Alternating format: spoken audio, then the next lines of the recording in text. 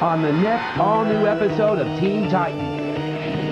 Slade has set a trap for the Titans, and the bait sounds very scary. I'm sure you're all familiar with the Chronoton detonator. No! Uh-oh, it's detonator. The gang goes for it, while Robin goes for Slade. It's over, Slade. This is only the beginning. Moment of truth, y'all. An all-new episode of Teen Titans premieres Saturday at 9.